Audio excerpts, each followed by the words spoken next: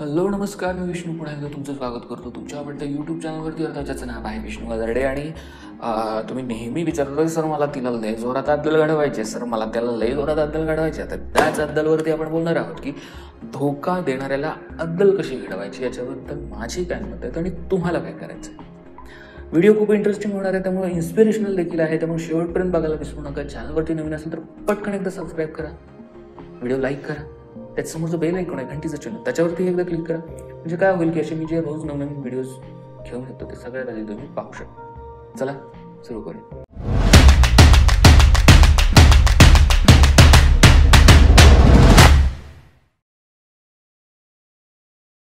आता गोष्ट कशी असते बघा की बाबा एखाद्याने चीट केलं किंवा एखाद्यानं फसवलं की मग आपल्याला बदला घ्यावासा वाटतो. पण आपल्या ती आपल्याकडे ती ताकद तेव्हा असते का?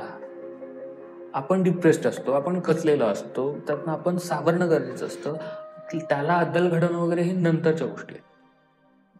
मग परत मी अद्दल दडवायला आणि माझी वेळ काय घालवणार आहे का? ह्या गोष्टीवरती पण आपण यायचं. मग त्या ह्याच्यात आपण काय करतो की काहीतरी वाईट बोलतो वाईट बोलून टाकतो त्यांना आणि सगळं सोडून देतो. मग शिवाय घालणं अजून काय करणं व्हायलन्स वाटेल आणि सोडून देतो. आता मी म्हणेन की अशा वेळी वेळ घ्या.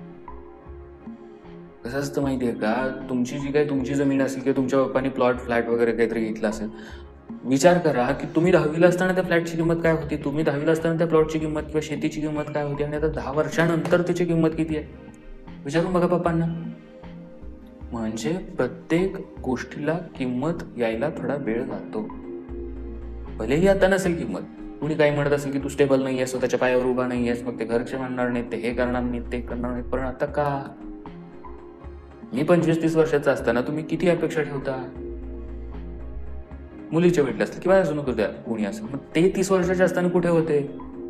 किती कमवायचे? या गोष्टींचा विचार देखील करायला पाहिजे नाही का? मग हेच मुख्य आहे की कुणाला नसेल आपली किंमत आपल्याला कोणी नसेल समजून घेत इट्स ओके इट्स ओके समजून घेत नाही म्हणून आपण त्याच्यामागे लागण्यात किंवा त्यांना त्रास व्हावा त्यांना अद्दल घडवावी या गोष्टी सोडा. आणि पुढे काय सांगतोय ते ऐका. ओके स्वतः खूप मोठं होणं स्वतः स्वतःच्या पायावरती भक्कम उभा राहणं हा मोठा बदल तुम्ही स्वतःमध्ये करू तुम्हाला जर वाटत असेल ना समोरच्या व्यक्तीला समोर जी काय सोडून गेलेली पोरगी आहे सोडून गेलेलं पोरग आहे त्याला मादल घडावी सोडून गेलेला व्यक्ती आहे त्याला अद्दल घडावी चीट केलेला व्यक्ती आहे फसव फसवलेला व्यक्ती आहे त्याला अद्दल घडावी तर तुम्ही स्ट्रॉंग राहणं तुम्ही हॅप्पी राहणं तुम्ही स्वतःच्या पायावर उभं राहणं तुम्ही खूप मोठं होणं तुमचं नाव होणं हेच मोठा बदला आहे. हे बघून ती समोरच्या व्यक्तीला व्हायचं ते होऊन जाईल.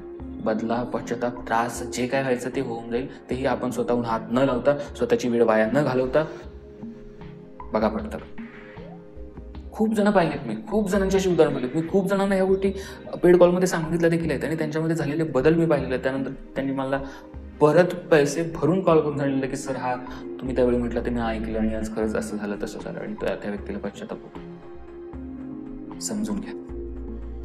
आणि त्या व्यक्तीची आठवण काढत बसून तुमचा वेळ वाया घालवूच नका नाहीतर तुम्हाला काहीही करता येणार नाही. ती व्यक्ती कधीच पुढे निघून जाईल निवण होत जाईल आणि तुम्ही फक्त आठवण काढत आणि रडतच बसाल. त्यामुळे त्या व्यक्तीला काढून टाका.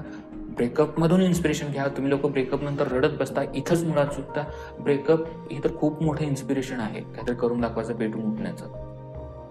म्हणजे अपमानाचाच प्रकार काहीसा होतो तो आणि तो तर आपल्याला खरं इन्स्पिरेशन असतं. मोठं होण्यासाठी. त्यामुळे तुम्ही त्या व्यक्तीचे गर्लफ्रेंड होता किंवा तुम्ही त्या व्यक्तीचे बॉयफ्रेंड होता हे त्या व्यक्तीने नंतर सांगत फिरायला पाहिजे की ही माझी एक्स होती. हा माझा एक्स होता. एवढं मोठं व्हा. एवढे स्वतः स्ट्रॉंग व्हा. तुम्हाला काय वाटतं? मला खाली कमेंट्समध्ये सांगायला विसरू नका. तुम्हाला असे काही रिलेशनशिपमध्ये प्रॉब्लेम येत असतील तर खाली माझ्या ऑफिसचा व्हॉट्सअप नंबर फ्लॅश होतो eight zero one double zero nine three nine three nine या नंबरवरती तुम्ही व्हॉट्सअप करू शकता आणि माझी अपॉइंटमेंट बुक करू शकता. लक्षात घ्या ही पेड कॉलिंग सर्व्हिस आहे त्यामुळे थोडेसे पैसे पेड करावे लागतात. तुम्ही पेड केल्यानंतर माझा कॉल येईल. आपण दोघे तुमच्या प्रॉब्लेमवरती सविस्तरपणे बोलू आणि त्याच्यावरती सोल्युशन काढण्याचा नक्की प्रयत्न करू. याशिवाय नातं जपताना नावाचं एक छानसं पुस्तक मी लिहिलेलं आहे. अगदी नव्याण्णव रुपयाला ते अवेलेबल करून दिलं आहे ई बुक आहे पी डी एफ स्वरूपात आहे.